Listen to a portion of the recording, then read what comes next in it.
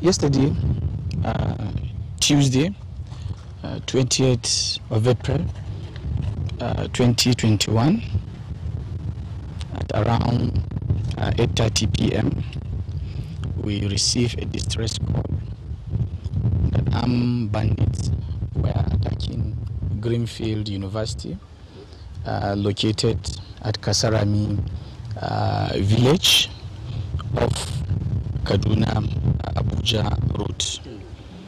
Uh, troops and other security agencies were immediately deployed uh, to the institution, but uh, they did not come in contact with the armed uh, bandits because uh, the bandits escaped.